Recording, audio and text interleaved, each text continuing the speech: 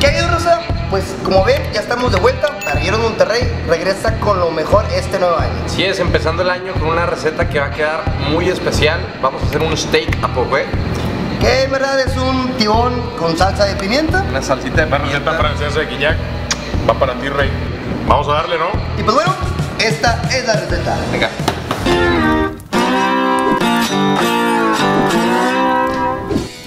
Bueno, Rosa, vamos a empezar. Vamos a proceder a salpimentar nuestro corte, ya saben, con MS, el maestro del sabor. Vamos a empezar a rociar un poco de aceite de oliva sobre nuestro corte, ya saben, para que nuestro sazonador tenga mayor adherencia.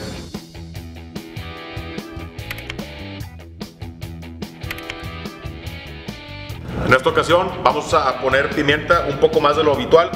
¿Por qué? Porque la idea es que a la hora de pasar a sellar nuestro corte en el skillet quede remanente de pimienta para crear nuestro acompañamiento que es la salsa. Listo, ya tenemos sazonado nuestro corte y ahora a la parrilla. Bueno, ahora sí, nuestro siguiente paso, vamos a colocar una plancha, un sartén en nuestra parrilla. Vamos a colocar suficiente aceite. Y vamos a poner mantequilla para engrasar. Y ahora sí, vamos a colocar nuestra pieza de tibón sellar.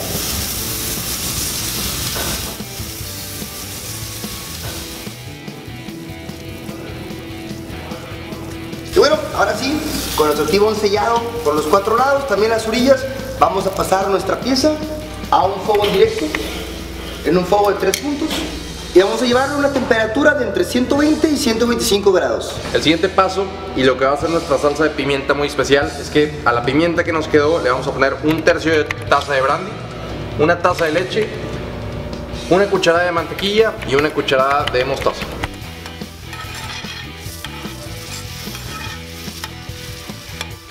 Ya con nuestra salsa terminada la vamos a vertir en un recipiente y pues no queda más que esperar al corte para bañarlo en ella. Y bueno, Rosa, llegamos a 118 grados Fahrenheit.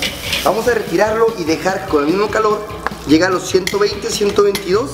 Y bueno, ya nuestro tibón sacado de la parrilla, vamos a poner un poco de papel aluminio y dejar que nuestros jugos se redistribuyan para así tener mejor sabor. Y el mejor jugo al momento de comer nuestro tibón a la pimienta. Perfecto, ya lo dejamos reposar. Vamos a cortar. Separa primero el hueso.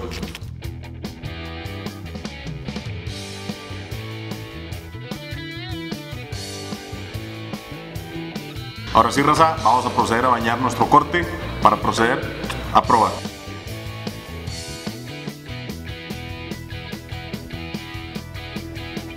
Y pues bueno, raza, como ya ven, esta receta quedó muy especial. Muchas gracias a Weber, Origen Sola Rioja y a MS de Sonadores, el maestro del sabor, que sin ellos nada de esto podría ser posible. No olviden de seguirnos en nuestras redes sociales, tales como Facebook, Instagram y YouTube, para que nuestra comunidad siga creciendo y podamos llegar a más de ustedes. Así es, por favor denos like, etiqueten a la persona con la que van a hacer esta receta, coméntenos cómo le cambiarían, qué harían con esta receta diferente para que ustedes le den el toque que quieran. Y pues, Vale, vamos a probar. Híjole. Vamos a darle. Mira, mira. Sobres. Nos dio la... No mames. Perdón.